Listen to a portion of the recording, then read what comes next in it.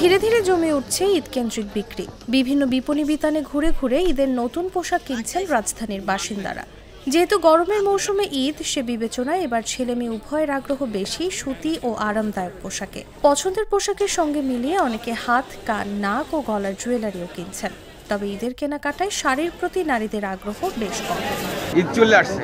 ঈদের বেচা কিনা অলরেডি চলে লাগিয়ে গেছে ছাব্বিশে মার্চ উপলক্ষে আজকে বন্ধের দিন সরকারি ছুটি অনেক লোক আসছেন। কারণ বন্ধের দিন অনেক লোক আসছে। এই দুই চার দিন তো আমরা অনেক বসেছিলাম রাস্তা এই মার্কেট। আজকে দৌড়ের উপরে এক সময় মঙ্গলবার রাজধানীর Khilgaon Taltola city corporation market, Rajdhani super market Mouchak market, Polwel super market ঘুরে দেখা যায়।